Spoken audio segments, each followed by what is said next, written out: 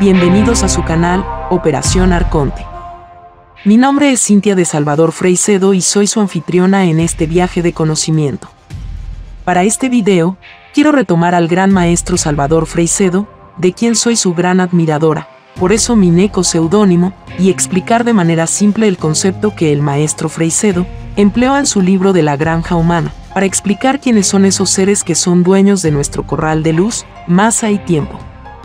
Si les gusta este video, háganmelo saber en los comentarios.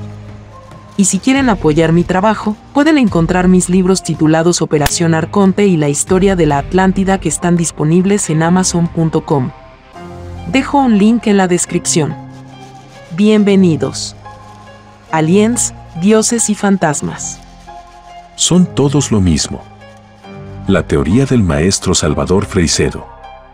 En ocasiones, la humanidad se ha encontrado con situaciones extrañas que involucran seres desconocidos, lo que puede generar miedo, ansiedad y confusión.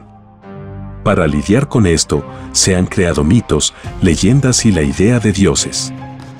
A lo largo del tiempo, se han utilizado diversos medios para convencer a la gente de la importancia de la religión y la existencia de un Dios todopoderoso que nos salvará y nos llevará al paraíso si hacemos cosas buenas.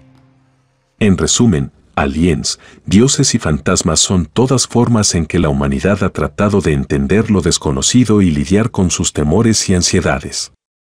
Las iglesias y otras religiones han presentado a su Dios como alguien con un currículum impresionante para lograr que la sociedad lo acepte. Sin embargo, el concepto de Dios no es la única respuesta para explicar la presencia de seres fascinantes y misteriosos. También hay seres superiores como aliens y fantasmas que rara vez se muestran a los humanos. Aunque no son tan visibles como Dios, muchas personas han tenido experiencias cercanas con ellos y pueden dar testimonio de su existencia. Estos seres podrían estar más cerca de lo que pensamos y su figura es comparable a la de los dioses creados por las diferentes religiones. ¿Es Dios real o hay varios dioses? ¿Existen otros seres superiores entre nosotros? ¿Cómo se diferencian los aliens, fantasmas y dioses?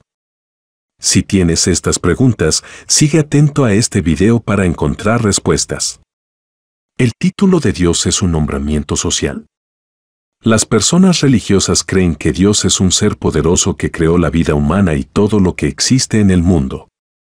Pero, ¿realmente es ese el origen del universo? Al ser más críticos, podemos cuestionar la idea creacionista de que el hombre y la humanidad surgieron por un acto divino. La existencia de Dios es una teoría que nadie ha podido demostrar con hechos comprobables. Las personas que dicen haber tenido contacto con Dios describen situaciones que son difíciles de creer y no pueden ser comprobadas.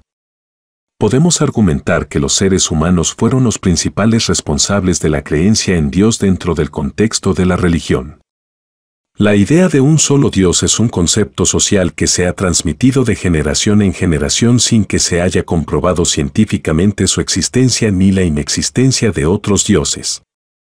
Desde nuestra niñez, nos enseñan conceptos y definiciones que han sido impuestos por la sociedad. Uno de ellos es la idea de que tendremos una vida mejor y llena de bendiciones si este único Dios está de nuestro lado.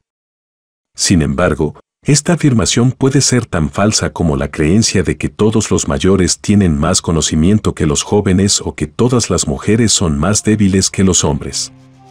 Podemos reflexionar y darnos cuenta de que la creación de estos conceptos impuestos está más alineada con los objetivos de la religión. ¿Existen otros seres superiores diferentes a Dios? A lo largo de la historia, Muchas personas han asegurado haber presenciado situaciones extrañas en la Tierra que involucran seres superiores desconocidos. Estos testimonios son evidencia de la existencia de estas criaturas. El escritor español Salvador Freicedo equipara a los seres superiores con los dioses. En su opinión, estos seres son superiores debido a sus habilidades avanzadas que les permiten controlar todo lo que sucede en la Tierra, incluyendo a los humanos también se encargan de cuidarnos y observarnos en nuestra vida cotidiana. Sin embargo, a diferencia del Dios de las religiones, estos seres se alimentan de nuestra energía emocional. En el libro, La granja humana, el escritor compara la relación entre los seres superiores y los humanos con la manera en que nosotros cuidamos a los animales en las granjas. Según él, los dioses nos cuidan para luego alimentarse de nuestra energía emocional, de la misma manera en que nosotros cuidamos de las gallinas y los cerdos para luego alimentarnos con ellos. Es importante destacar una diferencia interesante. A diferencia del Dios único propuesto por las religiones, los seres superiores no buscan más que observarnos vivir. No tienen interés en juzgarnos o llevarnos a un paraíso, ni desean que suframos o seamos perdonados.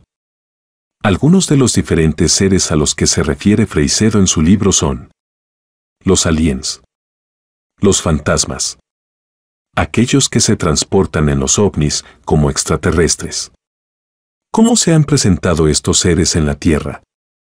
Según Freicedo, los seres superiores se encuentran en lugares lejanos a los que conocemos en el planeta Tierra. Están en otras dimensiones fuera del universo que aún son desconocidas para los humanos. Muchas personas han asegurado haber verificado la existencia de seres extraterrestres y otras dimensiones. Sus testimonios y experiencias han sido recopilados por estudiosos y fanáticos del tema, y el investigador Freicedo fue uno de los principales recopiladores. Él pasó más de la mitad de su vida viajando y escuchando diferentes relatos sobre los contactos con estos seres, lo que le permitió involucrarse con los protagonistas directos. En cuanto al concepto social, los dioses, aliens y fantasmas se pueden clasificar en el mismo grupo. Todos ellos tienen algún tipo de control sobre los humanos, están fuera de la Tierra y observan lo que sucede aquí. Sin embargo, hay una diferencia clara entre los conceptos y los títulos. Las religiones proponen a un Dios omnipotente que exige mucho de los seres humanos, pero no hay evidencia de su existencia. En cambio, según Freicedo, los seres superiores han aparecido frente a los humanos en diferentes momentos de la historia. Si los testimonios de encuentros con aliens, fantasmas y dioses confirman su existencia, tal vez la falta de testigos comprobables ponga en duda la idea de un Dios todopoderoso. En conclusión, el tema de los seres superiores ha sido objeto de debate y fascinación a lo largo de la historia. Desde los dioses de la religión hasta los aliens y fantasmas, la idea de seres que ejercen control sobre los seres humanos, están fuera de la Tierra y observan lo que sucede aquí ha sido objeto de interés para muchas personas. El concepto de Dios ha sido central en muchas religiones y se ha considerado como el ser supremo y omnipotente que creó el universo y la vida humana. Sin embargo, la falta de evidencia científica de su existencia ha llevado a cuestionar su papel en la sociedad y su relevancia en la vida humana. En contraposición, los seres superiores propuestos por Salvador Freicedo parecen tener una relación más equilibrada con los humanos, sin la exigencia de adoración y la promesa de un paraíso eterno. Los testimonios de encuentros con estos seres han sido recopilados por estudiosos y fanáticos del tema, y aunque algunos puedan parecer difíciles de creer, no se puede negar la importancia de la búsqueda de respuestas a preguntas que han desconcertado a la humanidad desde hace siglos. En última instancia, el tema de los seres superiores es fascinante y complejo.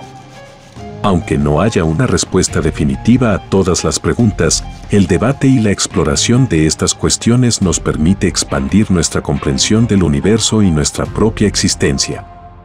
Fin. Si quieren ahondar en esta temática, recuerda que en nuestro canal tenemos múltiples videos y narraciones sobre Salvador Freicedo que seguro expandirán tu mente. Recuerden dejarme sus likes y comentarios y, si quieren apoyar mi trabajo, pueden encontrar mis libros titulados Operación Arconte y la historia de la Atlántida que están disponibles en amazon.com.